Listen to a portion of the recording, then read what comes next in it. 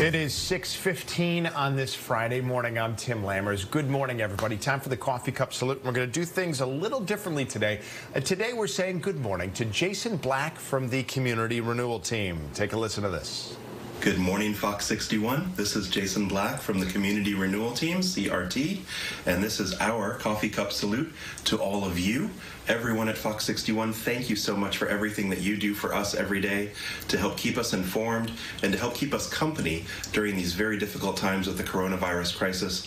We really, really appreciate it. Thank you also to all of my colleagues, all of my teammates at CRT who are working so very hard over these past several weeks, helping to feed the hungry with Meals on Wheels, helping the homeless, helping our veterans, the work that's happening at the retreat, our assisted living facility in Hartford to keep our seniors safe.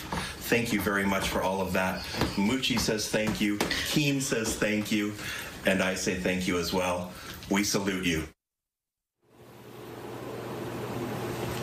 Good folks there at CRT. Good morning to Jason and to all of you. And remember, you can send us pictures of the mugs you've been drinking from in the morning so we can feature them here and feature you. Get them